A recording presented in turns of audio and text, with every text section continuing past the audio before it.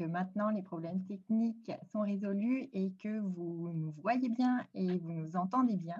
Alors, euh, merci à toutes et tous euh, d'être présents ce soir pour cette euh, présentation sur les parcs et les chalets et les infrastructures sportives de notre arrondissement. nous avons beaucoup de contenu à vous présenter. Je suis très contente d'être avec l'équipe de l'arrondissement pour vous faire cette présentation ce soir, même si évidemment on aurait aimé la faire en, en live, mais en vrai, avec, euh, avec une belle invitation euh, pour, euh, en présentiel. Mais les conditions actuelles veulent, font qu'on est en format virtuel. Et puis, je pense qu'on a préparé quand même un, beau contenu pour, cette belle soirée. Donc, cette soirée va se faire en trois temps. Il va y avoir une présentation sur les sondages, sur les résultats du sondage des parcs qui a eu lieu il y a quelques temps. on va vous présenter également les travaux qui s'en viennent pour, sur les chalets de parc et puis les terrains de tennis. Et enfin, on va finir euh, avec les projets de verdissement euh, qui sont en cours au sein de l'arrondissement. Donc, je me présente, je suis Valérie Patro, je suis conseillère d'arrondissement à Outremont et je suis également présidente de la commission sur l'eau, l'environnement, le développement durable et les grands parcs à la ville de Montréal. Je passe la parole à Madame euh, Marie-Claude Leblanc, directrice de l'arrondissement, pour qu'elle nous présente son équipe. Alors, ça fait plaisir de vous présenter euh, l'équipe euh, de ce soir. Alain Fizet, ingénieur au bureau de projet et de développement durable ainsi que Johan Rousseau, agent technique en horticulture et arboriculture au Bureau de projet et de développement durable.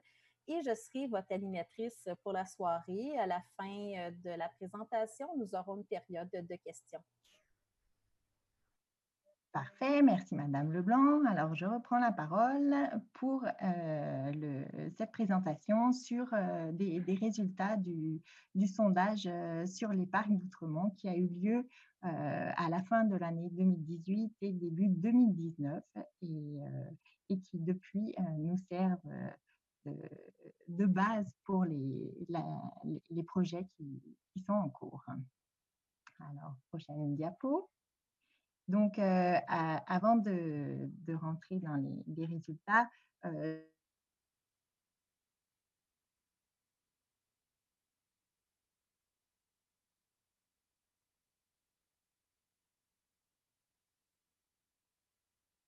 comme ça. C'est vraiment des lieux de nature au cœur de notre quartier.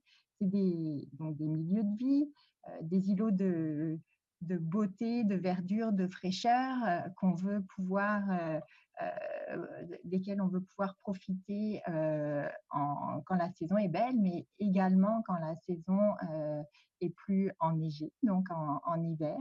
On a ce, cette envie-là de, profiter de, nos parcs.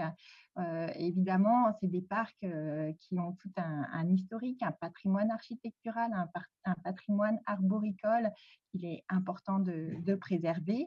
On a une, euh, une façon de faire qu'on veut de plus en plus innovante et audacieuse pour qu'elle soit assurément écologique. Elle favorise le verdissement, la forêt urbaine et la biodiversité. Et puis pour toutes les infrastructures qu'on y retrouve, donc les chalets de parc, les infrastructures euh, sportives également, de loisirs, euh, on veut euh, donc qu'ils soient ouverts, qu'ils soient rénovés, repensés, qui répondent également aux besoins actuels de notre quartier, donc au profit de tous, hein, les familles, les jeunes enfants, les adolescents et les aînés. Et on veut que, ces, parcs soient,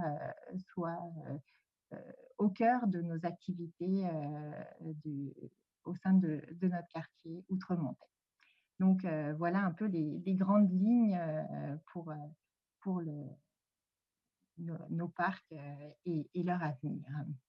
Donc, au niveau du sondage qui avait été réalisé en 2018-2019, donc à cheval sur les deux années, il avait été mené euh, donc en ligne essentiellement et également en format papier. Et pour on a eu un, record d'audience, euh, on a eu plus de 1000 euh, répondants et répondantes.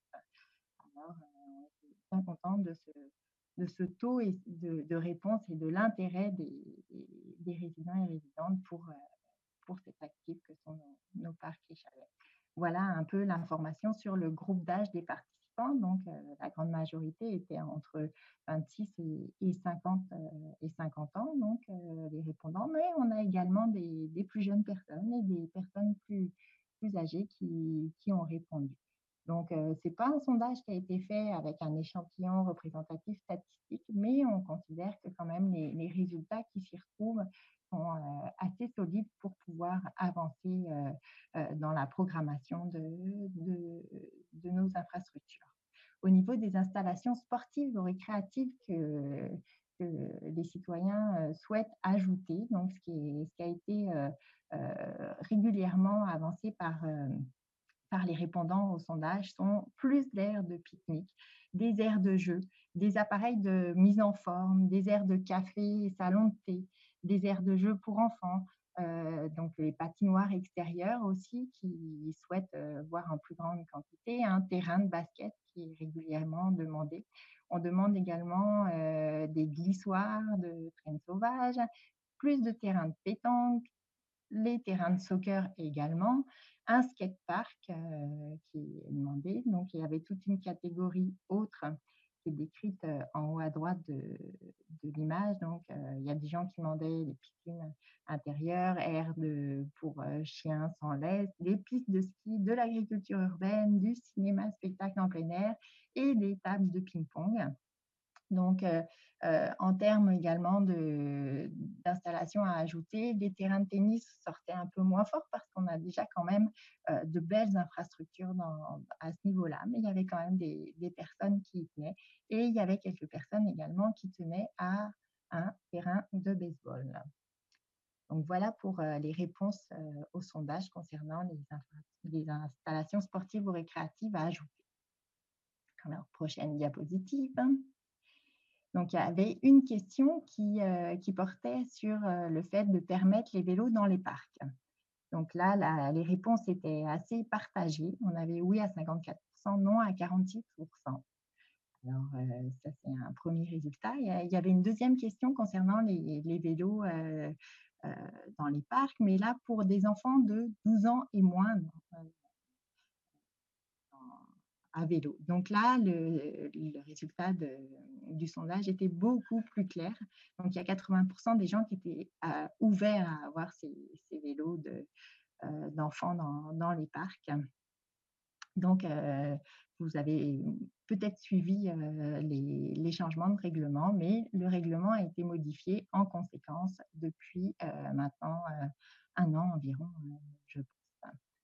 Donc, il a été modifié effectivement en 2019 et les enfants ont maintenant le droit d'être dans nos parcs en vélo.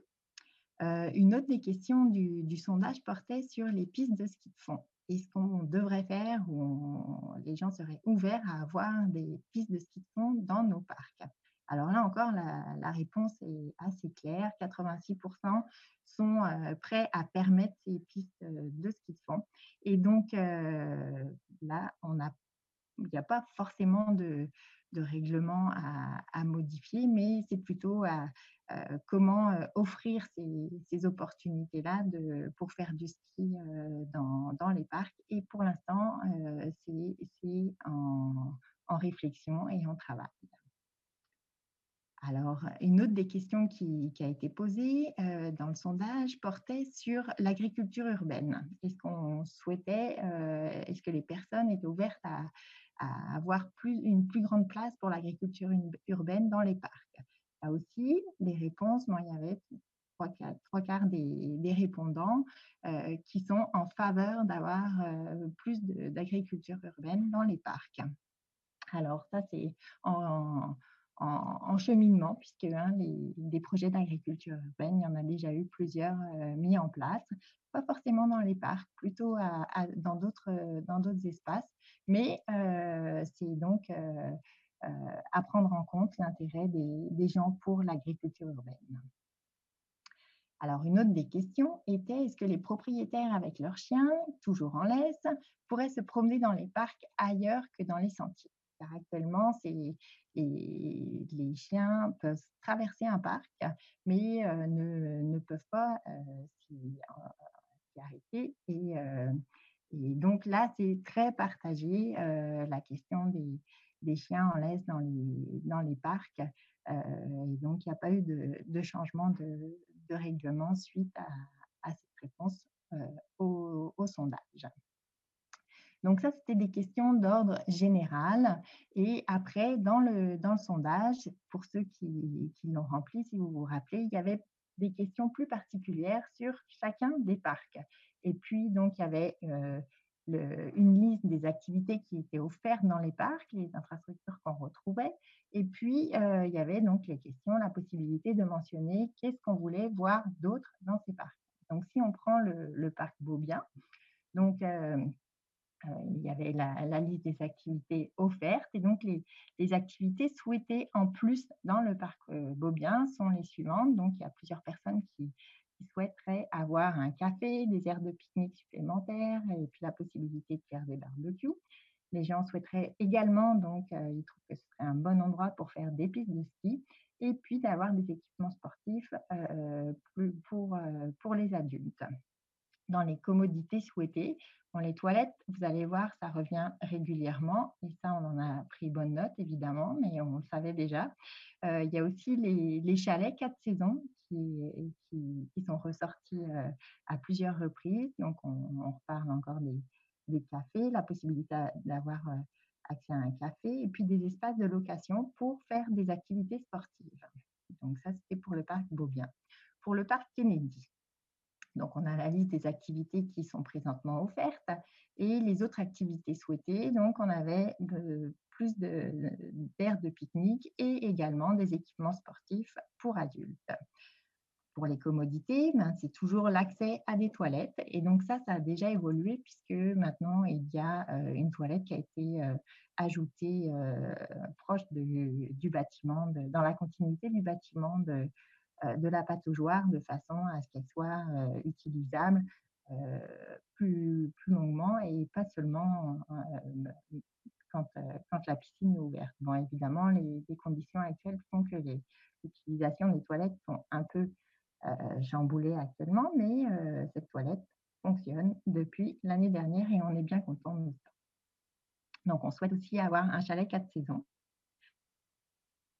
Donc, ça, c'est à, réfléchir. Et puis, le, la possibilité d'avoir un café. Alors, euh, là aussi, c'est à réfléchir parce que le, parc Kennedy est,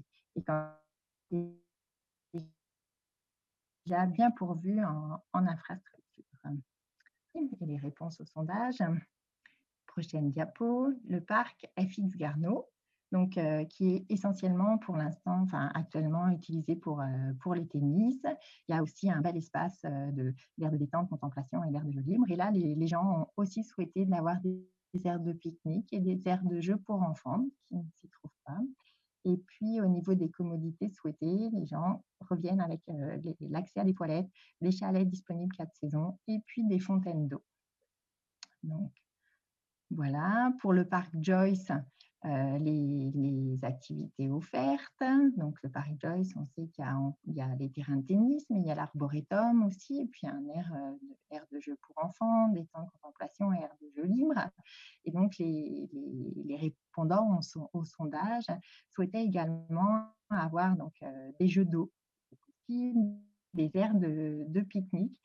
Là aussi, on pense que les répondants au sondage demandaient des pistes de ski il souhaitait également voir est-ce que le, chalet qui s'y trouve euh, et la terrasse qu'on y retrouve euh, sont des espaces qui peuvent être loués, euh, qui peuvent accueillir certaines activités. Et puis au niveau des, commodités, donc on revient toujours avec l'idée d'avoir accès à des toilettes, des fontaines d'eau, un chalet ouvert quatre saisons et là encore un accès à un, café.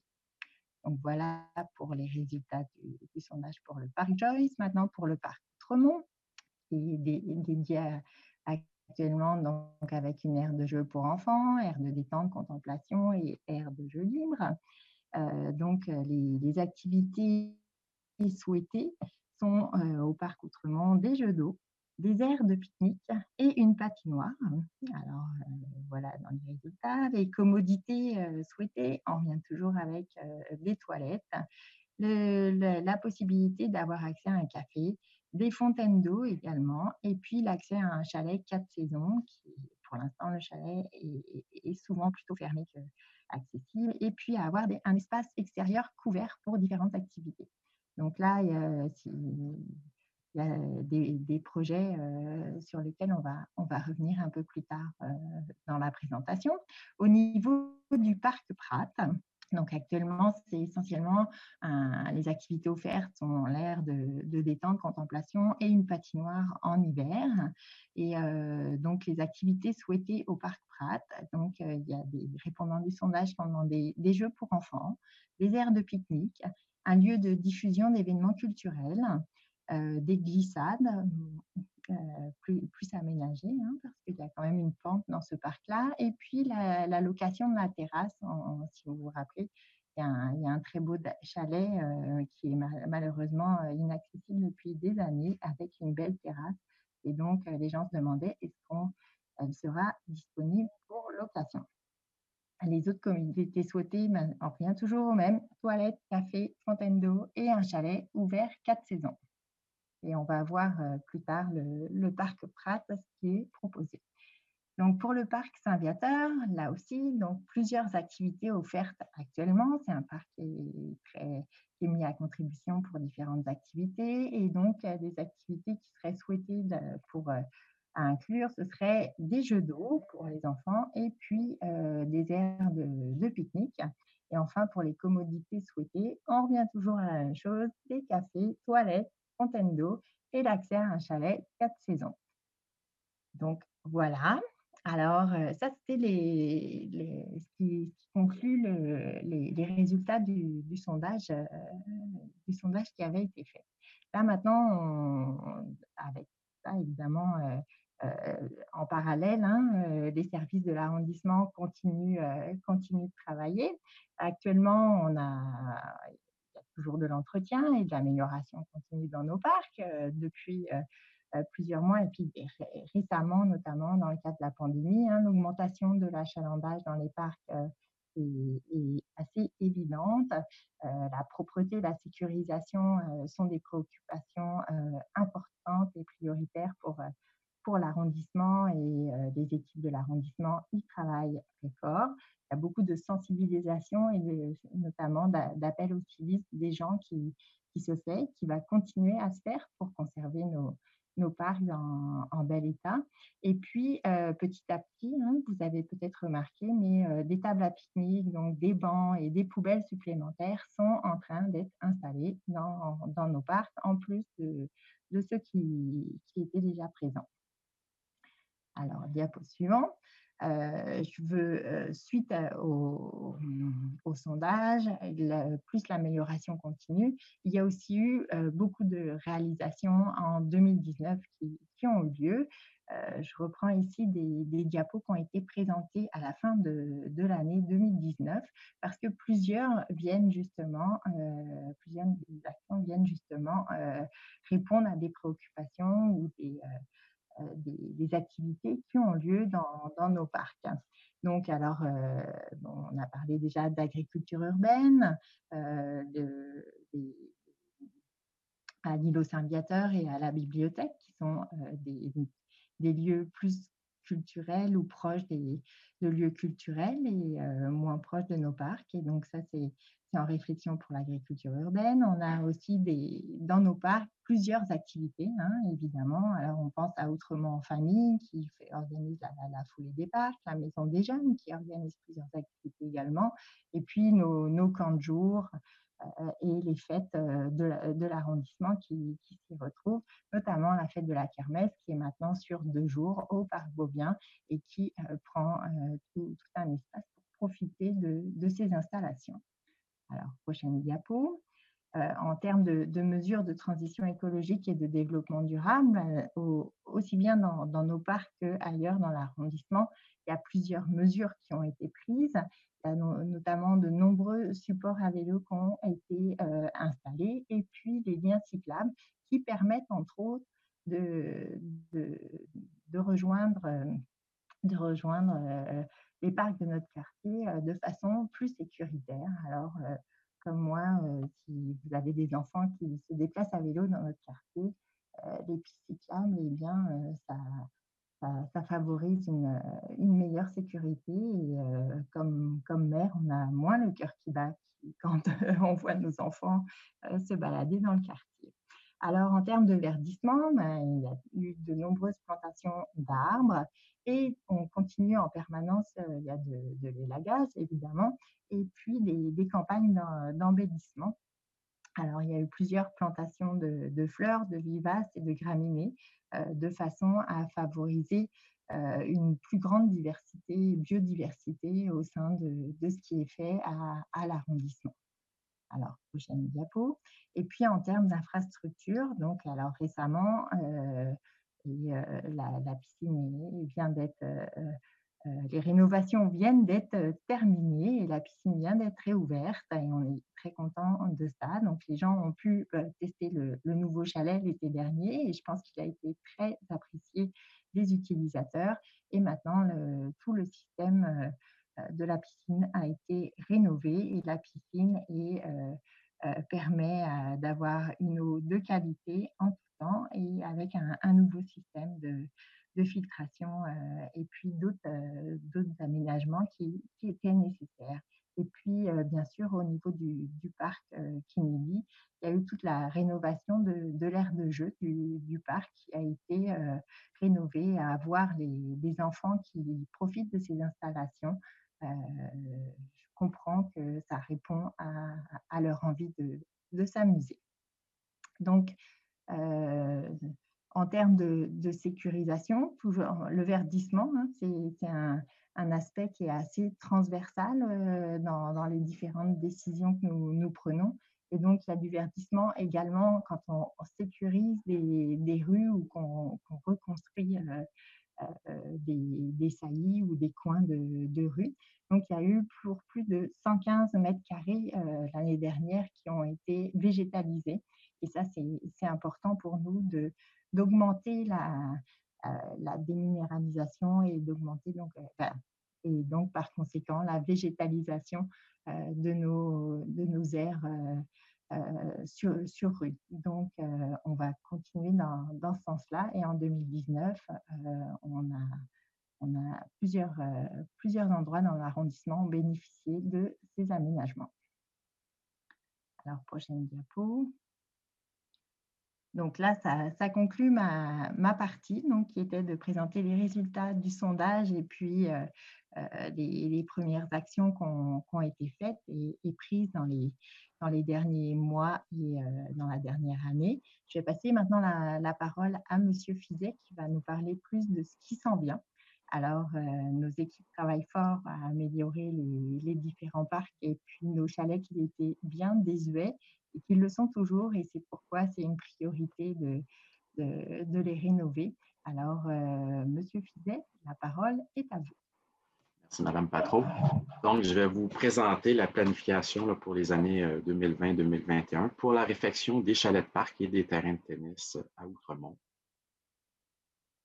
Donc, à la prochaine diapositive, on voit un peu le calendrier. Donc, euh, les, parcs, euh, les chalets des parcs Pratt et Joyce vont être euh, rénovés à l'automne 2020. On est en ce moment à l'étape de, la conception des plans et devis. Et le chalet Outremont sera rénové ou, agrandi à l'été-automne 2021. Pour ce qui est des, des terrains de tennis, le parc Garneau est cédulé à l'automne 2020 puis le parc Joyce au printemps 2021 ainsi que Saint-Viateur à l'automne 2021. Ça nous permet là, de, dans le temps de répartir les travaux sur le terrain. Euh, pour ce qui est des travaux prévus au chalet du parc Pratt, on parle de restauration, préservation de la maçonnerie de pierre. On va mettre en valeur et restaurer les éléments de bois, euh, dont les fenêtres et euh, les portes d'origine. On va installer un nouveau revêtement de toiture en tôle, puis on va réaménager euh, le rez-de-chaussée et le sous-sol et ajouter un accès universel au niveau sanitaire situé au sous-sol. Dans les modifications apportées, on voit qu'on va enlever l'ancien bardeau d'asphalte puis mettre un revêtement euh, en tôle qui est un, matériau un peu plus noble qui va mieux répondre au caractère patrimonial de ce bâtiment-là. La prochaine diapositive on voit également une vue du, chalet avec euh, la toiture en tôle, puis la, réflexion des, des, boiseries. Prochaine diapositive. Au niveau de la terrasse, la tourelle n'était pas fermée, donc il y avait la pluie, la neige qui pouvait entrer dans la tourelle, puis endommager la structure intérieure du bâtiment. Donc, on va venir fermer ça avec une cloison vitrée, avec une porte vitrée, euh, mais qui permet quand même d'apprécier le côté architectural de la tourelle. La prochaine diapositive, on voit le niveau de, la terrasse, le belvédère, comme il est appelé. Euh, puis on voit à gauche que la, cloison vitrée est, très subtile. La prochaine diapositive, on voit l'ajout d'une porte euh, du côté de la, rue Dunlop pour mener au, niveau sanitaire au sous-sol qui vont être accessibles 12 mois par année aux heures d'ouverture des parcs. Ensuite, dans le plan d'implantation, on voit euh, la position du chalet aux intersections de l'avenue Dunlop et la Joie. On voit que du côté est du bâtiment, donc au, haut du dessin, on a un nouveau sentier qui est aménagé pour euh, mener au nouvel accès au sous-sol. Puis à droite de ça, euh, vu que le terrain est quand même assez en pente, on vient euh, aménager des rocailles en palier pour soutenir la pente. À la prochaine diapositive, on voit le réaménagement du sol. Jusqu'à maintenant, le sous-sol était utilisé seulement pour électricité, télécom, puis eau et égout. Maintenant, on, va euh, installer deux, nouveaux sanitaires, dont une, toilette euh, pour les gens à, mobilité réduite, là, c'est dans le fauteuil roulant. On va avoir un vestibule avec une fontaine où on va pouvoir remplir des, gourdes ou des bouteilles réutilisables. On a aussi un banc. Donc, les gens, s'il y a une intempérie, vont pouvoir venir se réfugier, euh, se reposer. L'hiver, s'il y a des gens qui veulent venir se réchauffer pendant qu'ils jouent au patin, euh, ou venir changer leur bottes ou leur patin. il y aurait le loisir de venir le faire au sous-sol du chalet. Euh, ensuite, euh, au niveau du rez-de-chaussée, on, réaménage ce niveau. Ça a été fermé pendant au moins 12 ans. Puis là, on en profite pour faire un espace multifonctionnel qui sera disponible pour des événements de l'arrondissement ou probablement à l'occasion, qui sera disponible auprès de la direction de la qualité de vie. Ensuite, on vient aussi installer un nouveau euh, sanitaire à cet endroit-là et un nouvel escalier là, dans la tourelle pour mener à la terrasse. Au niveau de la terrasse, la page suivante, on voit euh, la terrasse, une nouvelle cloison vitrée avec une porte vitrée. Euh, puis on vient tout refaire, les boiseries, on vient refaire l'éclairage. On va mettre l'éclairage comme il y avait à l'origine. Donc, euh, une belle terrasse qui pourra servir à différents événements. Ensuite, on termine pour le chalet du Parc Pat. On passe maintenant au chalet du Parc Joyce, dont les travaux sont prévus cet automne. Donc, les, travaux principaux, c'est le rejointement des murs de fondation en moellon avec euh, l'étanchéisation. On va restaurer et mettre en valeur les éléments de bois. On va remplacer les portes et fenêtres, euh, dont aucune n'est d'origine, sauf peut-être celle de la, lucarne de la, façade sud. Euh, on va installer un nouveau revêtement de toiture en tôle aussi, euh, comme au parc pour enlever le, bardeau d'asphalte qui n'était pas d'origine. Puis on va réaménager complètement le rez-de-chaussée et l'étage avec un, accès universel au niveau sanitaire qui vont être déplacés à un nouvel endroit la prochaine image, on voit ici deux élévations. Donc, c'est le côté sud et la façade est. En 77, il y a trois lucarnes qui ont été ajoutées pour euh, offrir plus de lumière naturelle à l'intérieur de l'étage, mais les proportions ne sont, pas, identiques à, celles d'origine. Donc, on va en profiter pour remplacer euh, ces trois-là. Et il y en a une aussi à l'arrière du côté ouest. Puis les quatre petites fenêtres dessous la terrasse vont être remplacées par des fenêtres de la même hauteur que celles qu'on voit sur la face sud à gauche euh, sur la, photo. La prochaine photo, vous voyez euh, une vue 3D. Donc, on vient voir qu'on a remplacé les trois lucarnes par deux lucarnes qui sont plus grosses, mais qui ont les mêmes proportions que celles d'origine. Puis, on voit que les fenêtres aussi dessous ont été agrandies, donc ça, ça donne une plus belle harmonie au bâtiment. ça respecte plus l'esprit d'origine du bâtiment. À la prochaine, on voit les modifications qui vont être apportées à la terrasse extérieure. Donc, il y avait une terrasse à l'avant de la façade S qui masquait une grosse partie du bâtiment, puis qui n'était pas très jolie pour, euh, disons, l'aspect patrimonial de ce bâtiment-là. Donc, on vient tout démonter euh, cette terrasse-là. On vient en construire une nouvelle euh, sur le côté nord du bâtiment. Donc, la façade maintenant S est dégagée, puis on peut vraiment admirer l'architecture. Puis la terrasse maintenant est faite sur deux niveaux, dont le niveau bas qui est situé au niveau du sol avec euh, des marches en gradin pour pouvoir regarder des matchs de tennis. À la prochaine image, on voit une vue en trois dimensions de ce qui est proposé pour euh, la nouvelle terrasse. Puis on, va remettre un petit peu de végétation entre le terrain de tennis et le chalet de parc pour aider à, diminuer la minéralisation du site. La prochaine, on voit, la nouvelle terrasse. Euh, on regarde maintenant vers l'est, puis on voit le, nouveau passage couvert sous la terrasse qui est comme un rappel à, la porte cochère qui se situe à droite, qui est existante. la prochaine euh, diapositive, maintenant, on a une vue en 3D de, des différents euh, niveaux de hauteur de la terrasse avec la terrasse basse, avec niveau en gradin, le, nouveau paysagement. Euh, la surface au sol en, pavé de pierre va être une couleur très pâle euh, pour permettre euh, la réflexion de la lumière, puis pour créer de l'eau de chaleur. Puis il va y avoir des joints percolants pour que la pluie puisse s'introduire entre les dalles. À la prochaine image, on voit le chalet dans, son implantation dans le parc par rapport au terrain de tennis. On voit que la terrasse là, est, bien aménagée là, et plus centrée là, par rapport au terrain de tennis que l'ancienne qui était devant le bâtiment. Puis on, va rajouter des arbres. Il y a des arbres qui sont proposés d'être ajoutés. Là. Donc, euh, ça va contribuer à améliorer encore plus l'arboretum de M. Joyce. À la prochaine diapositive, on voit le réaménagement du rez-de-chaussée. Donc, le petit édicule en haut du, euh, du plan avant, c'était seulement un espace d'entreposage. Donc, on vient euh, prendre une partie de, l'espace d'entreposage pour faire des, nouveaux sanitaires, des nouvelles toilettes. Donc, on a une toilette pour, euh, mobilité réduite, on a une conventionnelle, puis on en a une qui va être adaptée pour les enfants. Comme il y a des jeux, euh, des modules de jeux très près pour les enfants, on va leur offrir une, toilette avec une toilette plus basse, un lavabo plus bas, euh, dans l'entreposage, il va y avoir des rayonnages pour optimiser l'entreposage qui va être suffisant pour les besoins de, l'arrondissement.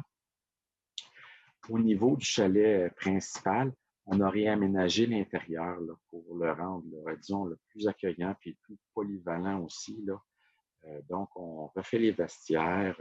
Donc, euh, c'est des vestiaires qui sont unigenrés maintenant. Donc, avant, c'était séparé. Maintenant, c'est autant hommes-femmes qui peuvent aller à l'intérieur d'un des vestiaires fermés.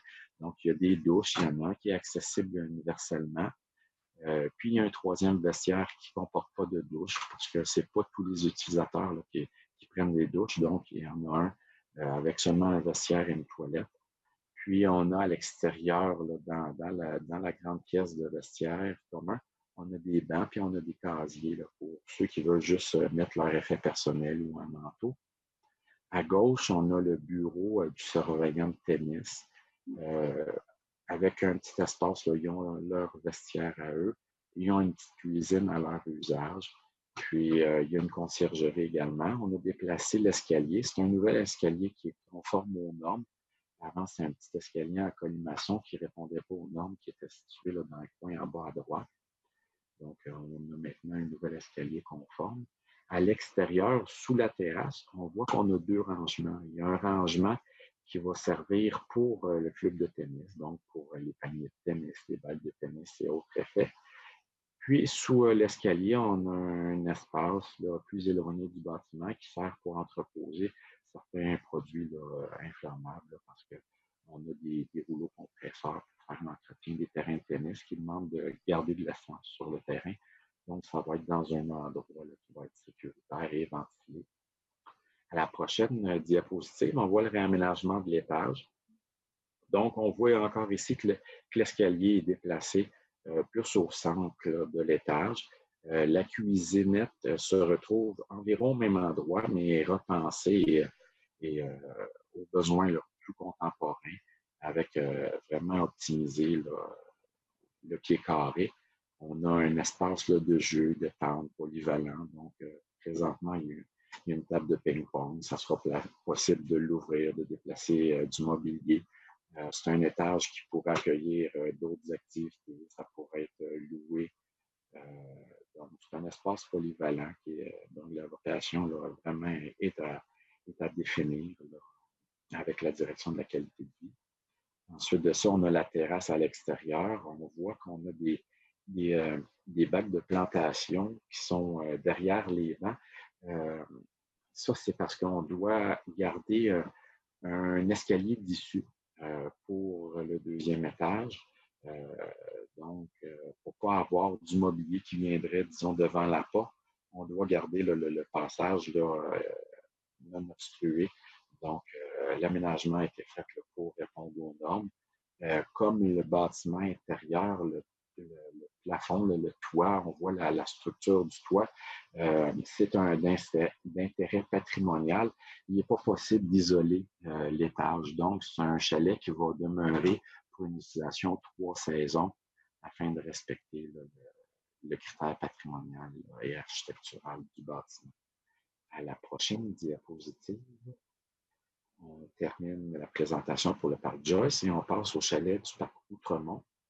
Donc, euh, les travaux sont prévus l'année prochaine, à l'été, automne 2021. la prochaine diapositive, on voit une planification préliminaire. Donc, il y aura un processus de consultation publique à, la fin de l'été 2020 pour euh, voir les besoins euh, des usagers du parc et des riverains, des citoyens. Il y aura une réalisation d'un programme technique et fonctionnel qui va définir les besoins en termes d'espace et, de, de fonctions selon ce qui aurait été euh, défini suite à la consultation publique. On passera ensuite à l'étape de la consultation des plans et devis à l'automne 2020 vers 2021 pour pouvoir réaliser des travaux de réfection du chalet à l'été et à l'automne 2021. Donc, euh, c'est ce qui complète euh, pour le chalet du parc Outremont. À la prochaine diapositive, on parle maintenant de la réfection des terrains de tennis pour 2020 et 2021. Donc, euh, à l'image de gauche, on voit les quatre terrains tennis du parc Garneau. L'image du centre montre les six terrains du parc Saint-Viateur. Et la dernière à droite montre les trois terrains de tennis du parc Joyce. À la prochaine diapositive, on explique un peu la nature des travaux qui vont être réalisés. Donc, les terrains de tennis en terre battue ont besoin de fondations drainées. Donc, on doit refaire euh, le drainage parce que c'est colmaté. Euh, et, installer euh, un système d'arrosage automatique pour euh, assurer une meilleure irrigation puis, du, terrain de tennis. Ça doit être arrosé régulièrement et entretenu. On va remplacer les composantes des clôtures au besoin. certaines ont déjà été changées, d'autres sont très vieilles, donc ça va être au besoin. On va mettre une mise à niveau de l'éclairage aussi. on va installer des nouveaux luminaires Adel. Si certains euh, fûts, euh, les gros poteaux sont, encore bons, on va les conserver, puis on va seulement changer la tête. Donc, euh, c'est ce qu'on va voir là, en faisant nos relevés. Puis, on va ajouter ou remplacer des abreuvoirs, puis d'autres mobiliers là, selon les besoins, là, comme les, filets, les poteaux de filets, puis tout le mobilier d'entretien requis par l'employé d'entretien prochaine image, on vous présente le calendrier euh, des travaux des terrains de tennis. Donc, il est prévu que le terrain de tennis à Garneau soit réalisé en septembre ou octobre 2020. Celui du parc Joyce sera au printemps suite la, aux travaux euh, du chalet du parc Joyce parce que le terrain de tennis va quand même être fermé à l'automne euh, à cause des travaux qui vont être réalisés au parc Joyce. Puis ensuite de ça, celui au Saint-Viateur en septembre et octobre 2021. Ce qui fait qu'on on essaie de maintenir le plus de terrain de tennis ouvert en même temps. C'est ce qui complète ma présentation.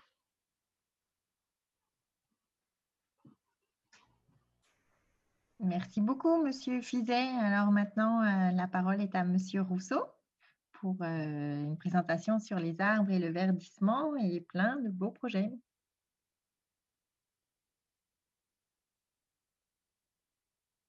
Monsieur Rousseau, on ne vous entend pas.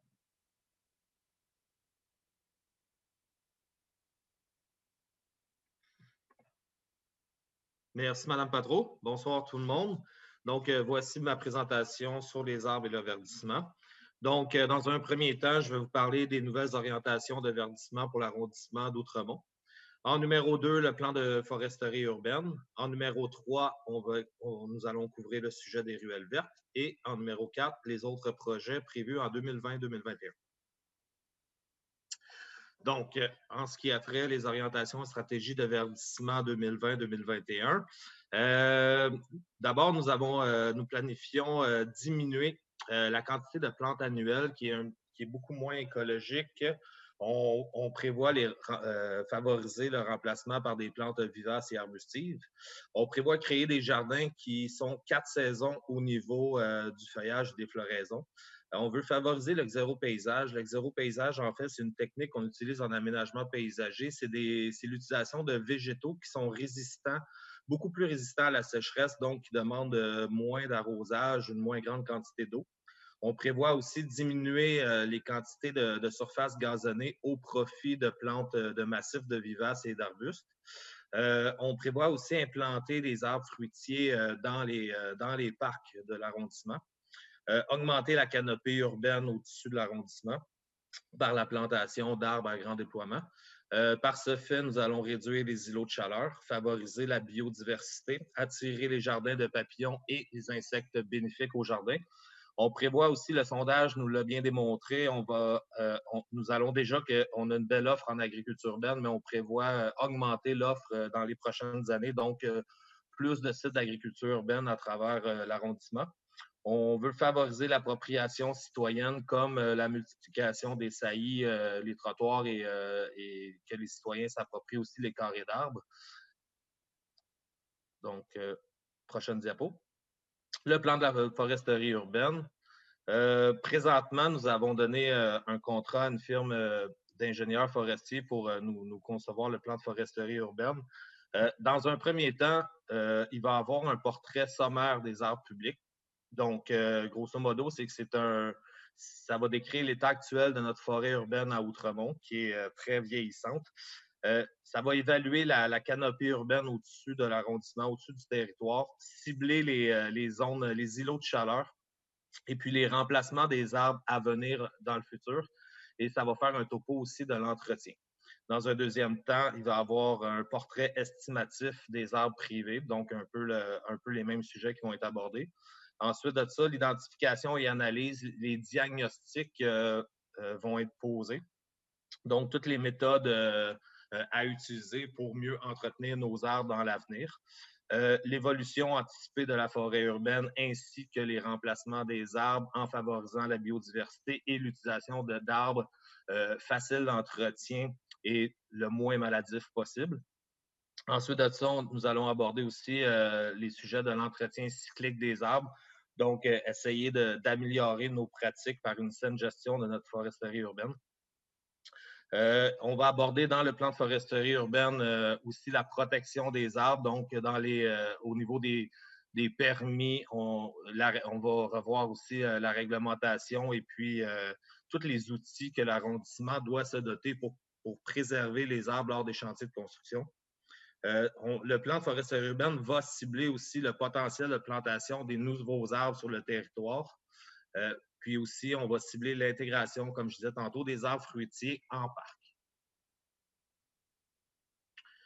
Euh, le plan de foresterie urbaine va également nous permettre de lister une liste d'espèces d'arbres à planter de façon judicieuse dans l'arrondissement afin de bien remplacer nos arbres de prévoir le coût puis d'assurer une forte biodiversité pour ne pas se retrouver dans l'avenir avec le même problème qu'on a eu avec des espèces comme le frêne.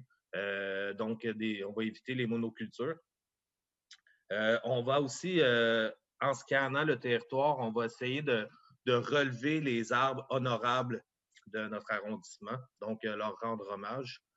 Euh, puis à la fin, il va avoir le dépôt de la rédaction finale de la politique de l'arbre.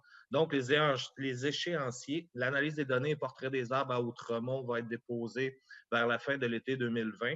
Et puis ensuite de ça, le dépôt général du plan, le plan final de foresterie urbaine d'Outremont va être déposé en automne 2020.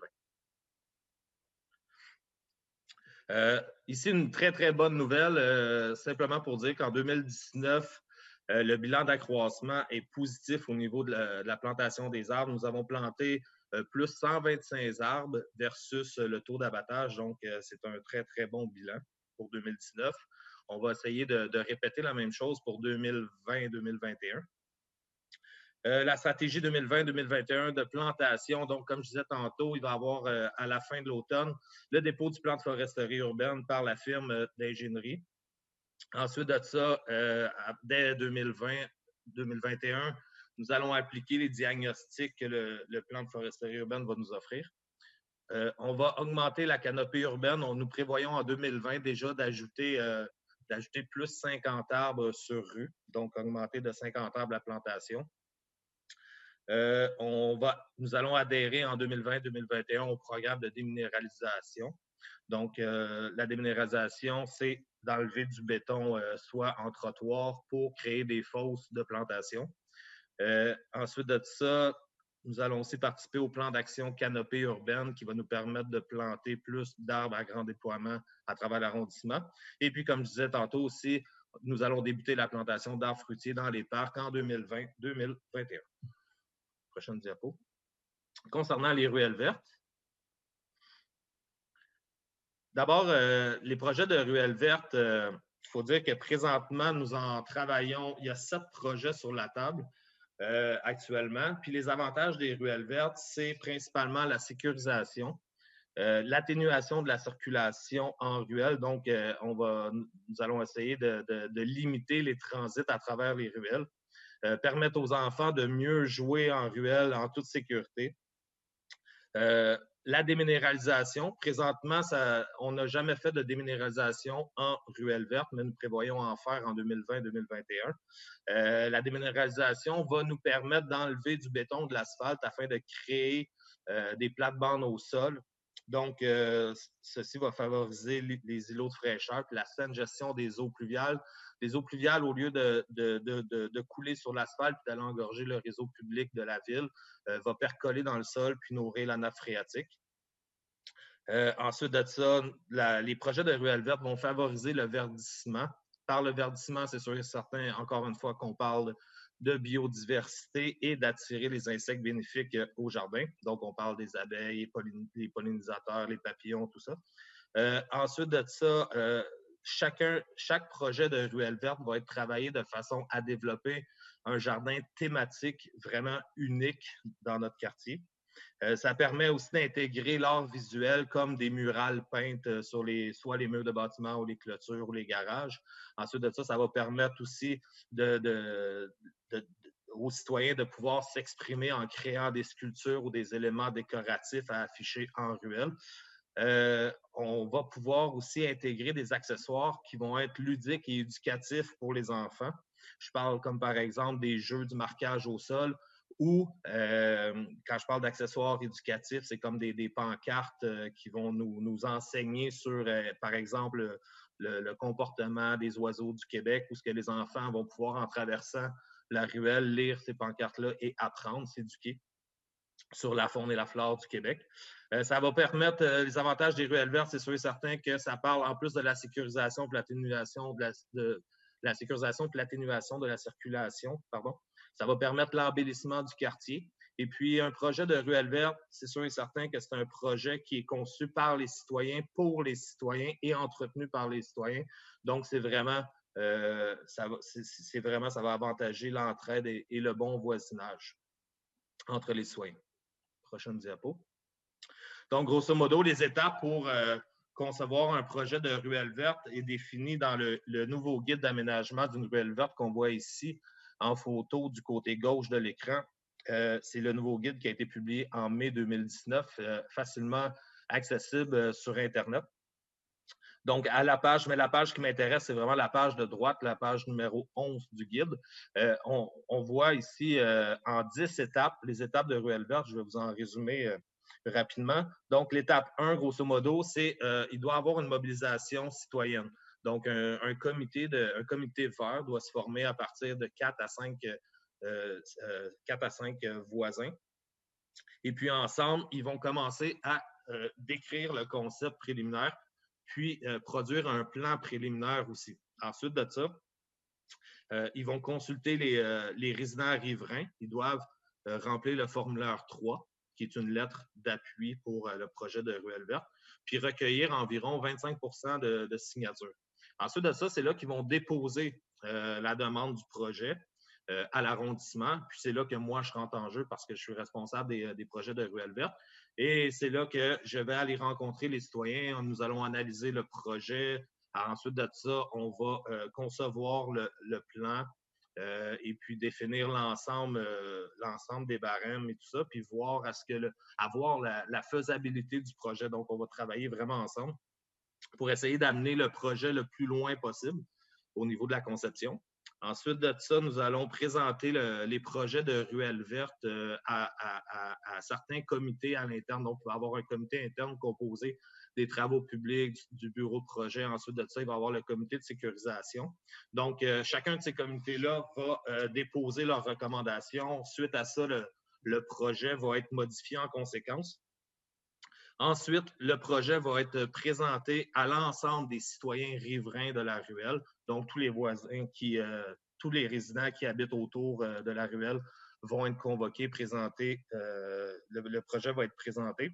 Ensuite de ça, s'il y a des, citoyens qui s'opposent au projet, ils pourront imprimer un formulaire qui est, à la fin du guide et puis aller recueillir 51% des voix pour, euh, pour être contre le projet, donc une forme de pétition. Et sinon, si tout le monde, euh, tout le monde, si, tout le monde est d'accord avec le projet, ben le projet va aller de l'avant. Ensuite de ça, nous allons aller en plan et devis avec une firme d'architectes paysagistes pour vraiment finaliser les, euh, les plans avant de rentrer en travaux. Et puis ensuite, inaugurer la ruelle, faire une grande fête et ensuite de ça, ben, il va rester l'entretien de la ruelle par la suite. Donc, euh, voilà les dix étapes pour euh, concevoir un projet de ruelle verte.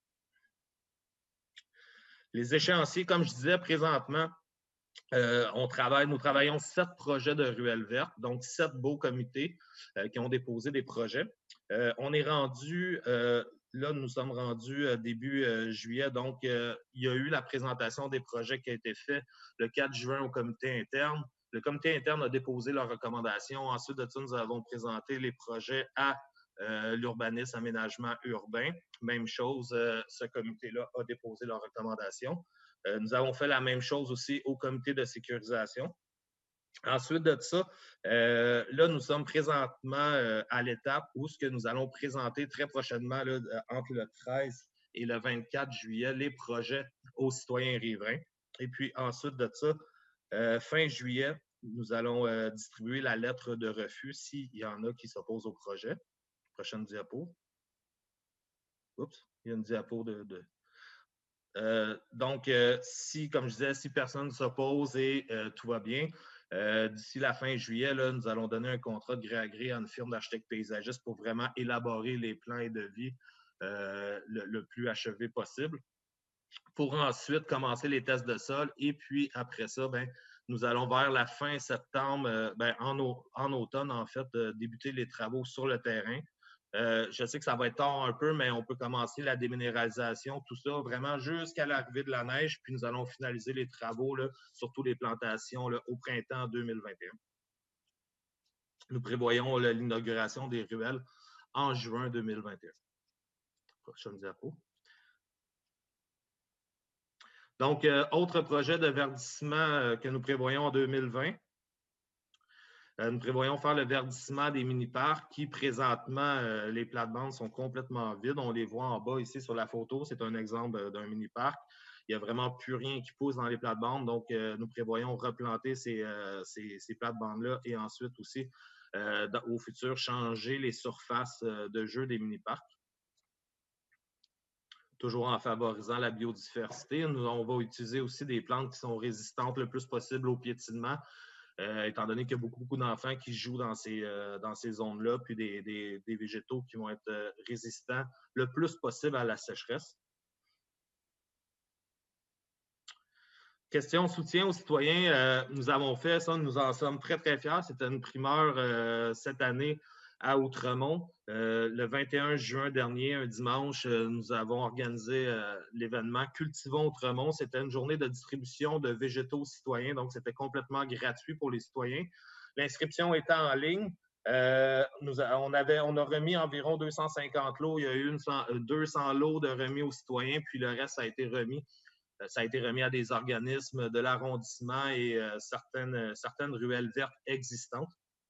Donc, avec, euh, avec ces végétaux-là, les, citoyens ont pu verdir l'arrondissement à leur cour arrière et euh, la devanture, comme par exemple la Maison des Jeunes et d'autres organismes.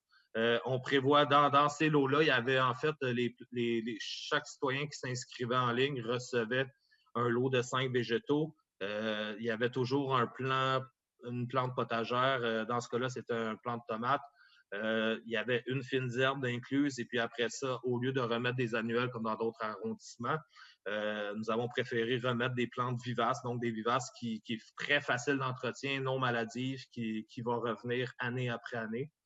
Donc euh, voilà. Puis l'année prochaine, on, prévoit refaire la deuxième édition de Cultivons Autrement parce que ça a très bien marché. Puis cette fois-ci, là, à cause de la COVID, on n'a pas pu remettre du, paillis et du compost, mais l'année prochaine, il devrait avoir, si tout se passe bien, du paillis et du compost en plus des végétaux. Donc, tout ça remis gratuitement aux citoyens. Ensuite de ça, on prévoit mettre sur pied l'année prochaine, en 2021-2022, un programme d'appropriation citoyenne euh, comme l'adoption d'un carré d'arbres, saillie ou un bac de plantation libre, où ce que les gens pourront cultiver eux-mêmes euh, ces endroits mis à leur disposition. Puis euh, nous réfléchissons là, euh, dès aujourd'hui, puis on, aimerait ça mettre ça en place pour euh, l'année prochaine, 2021. la réflexion est comment valoriser l'implication citoyenne en matière d'embellissement sur le terrain privé. Donc, de trouver une certaine façon de, de, de, vous remercier pour le coup de pouce que vous apportez à l'arrondissement, pour le travail que vous faites pour l'environnement, pour l'embellissement du quartier pour euh, l'investissement, euh, votre temps, que, le, temps investi dans, dans l'embellissement de la ville. Donc, prochaine diapo. Donc voilà, avec tous ces projets-là, et puis il y en a plein d'autres qui sont en train de, se préparer, comme euh, je disais, nous allons augmenter l'agriculture urbaine, on va faire des déminéralisations aussi en trottoir pour favoriser la, la, plantation de plantes vivaces arbustives, intégrer des, des arbres fruitiers, des arbustes fruitiers en parc. Euh, on va reverdir aussi les surfaces gazonnées des parcs euh, pour remettre euh, de la verdure partout. Donc, ensemble, verdissons autrement. Je vous remercie. Alors, merci beaucoup, Monsieur Rousseau. Merci également, Monsieur Fizet, pour ces présentations. Alors, on avait proposé au début de la séance, on avait indiqué que si des, personnes avaient des questions à nous poser, ils pouvaient nous, nous contacter par euh, courriel à l'adresse suivante, donc consultation.outremont at montréal.ca. Donc, euh, euh, je ne sais pas, Madame Leblanc, si vous avez reçu ou pas des, questions à cette adresse et si nous avons des, des, questions, des réponses pour, pour les, personnes qui, nous écoutent ce soir. Alors, euh, nous n'avons reçu aucune question. Alors, euh, ça devait être clair et limpide. Euh, j'espère que les gens sont enthousiasmés et inspirés par tout ce qu'on leur a présenté ce soir. ce que je vous propose, Madame Patro, s'il n'y a pas de questions, je n'en vois toujours pas, c'est de, de, faire de déposer, dans le fond, euh, le, document euh, de la présentation d'aujourd'hui. Et puis, on pourra en faire aussi la promotion via notre bulletin, notre infolette et nos différentes plateformes. Si les citoyens et citoyennes souhaitent nous poser des questions, ils pourront le faire là, à l'adresse indiquée au bas de l'écran. Parfait. Donc, l'adresse, ce n'est pas juste pour ce soir, c'est en permanence les gens qui, qui souhaitent poser des questions sur, sur, cette, sur cette présentation. Exact. Parfait. Donc, euh, s'il n'y a toujours pas de questions euh, reçues, euh, je vais ben, remercier tout le monde d'avoir assisté à, cette présentation. Effectivement, il y a de très beaux projets qui, s'en viennent à Outremont. J'ai tellement hâte de voir les, ruelles vertes. Je sais qu'il y a beaucoup de citoyens qui se donnent, qui passent du temps à les, euh, à les conceptualiser, à participer donc à, leur conception. Et puis, euh, je sais qu'ils les attendent depuis longtemps et, euh, nous avons tous et toutes bien hâte de, les voir pousser. Et puis, bah, évidemment, nos, chalets de parc, alors le, chalet du parc Pratt, le chalet du parc Joyce, il euh, faut le rappeler, hein, les parcs du quartier Outremont euh, ont des chalets qui sont dans les plus euh, vétustes de Montréal. Donc, c'est vraiment pas du luxe de les rénover, mais la façon dont on les rénove va être de qualité et faite avec des, de, de façon à s'assurer de conserver le, patrimoine et à l'intégrer correctement dans, dans, dans nos, nos parcs actuels. Alors, euh, on a également très hâte de voir ces projets euh, se mettre en, œuvre et, euh, je sais qu'ils sont sur, dans la bonne direction et, je pense que les citoyens et citoyennes du, quartier ont également hâte de, de voir ces projets prendre vie. Alors, s'il n'y a toujours pas de questions, ben, on va clore la, la soirée ici. Et puis, on va, euh, ben, encore une fois, remercier toutes et tous qui ont, qui ont participé, qui ont assisté. Et puis, je tiens à remercier donc euh, les équipes de l'arrondissement et entre autres, euh, messieurs Rousseau et Fizet, et vous, Madame Leblanc, qui, qui, avez participé à élaborer ces présentations. Alors, dernière mention, je tiens également à remercier les membres du comité parc, sport et environnement qui ont, eu l'occasion de, discuter également de ces différents enjeux et des différents projets et d'apporter euh, euh, par leur questionnement notamment plusieurs euh, bonifications à ces projets. Donc, merci à toutes et merci à tous.